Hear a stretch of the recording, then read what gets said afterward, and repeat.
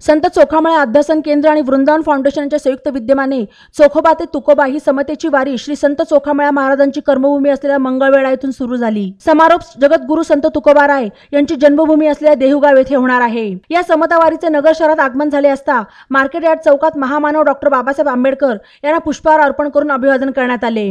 विश्व हिंदू परिषदेतर्फे समतावारीचे स्वागत करण्यात आले. या प्रसंगी निमंत्रक सचिन पाटील विश्व हिंदू परिषदेचे जिल्हा मंत्री गजेंद्र सोनवणे जिल्हा सहमंत्री मुकुल गंधे मठ मंदिर समिती जिल्हा प्रमुख हरिभाऊ डोळसे सामाजिक समरसता जिल्हा सहप्रमुख बाबासाहेब साठे अशोक महाराज जोशी अमोल निकाळजे आदी उपस्थित होते. समाजातील जातीय धार्मिक विद्वेषी दरी कमी होऊन आपापसात बंधुभाव वाढावा यासाठी तसेच समता मानवता बंधुभावाचा विचार अधिकाधिक लोकांपर्यंत पोहोचवण्यासाठी समता वारीचे दरवर्षी आयोजन करण्यात येते असे यावेळी समता वारीचे निमंत्रक सचिन पाटील यांनी सांगितले. या संदर्भात सचिन पाटील यांनी अधिक माहिती दिली.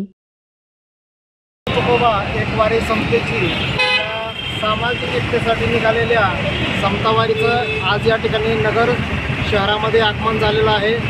आठ तारखेला आठ जानेवारी रोजी संत चोखामेळा भूमी समताभूमी मंगळवेढा येथून ही ही वारी निघाली. सोलापूर धाराशिव बीड नगर संभाजीनगर जालना बुलढाणा या जिल्ह्यातून प्रवास करून देहूमध्ये जगद्गुरू संत तुकोबाराय जन्मभूमी देहू गावामध्ये या यात्रेचा समारोप होणार आहे.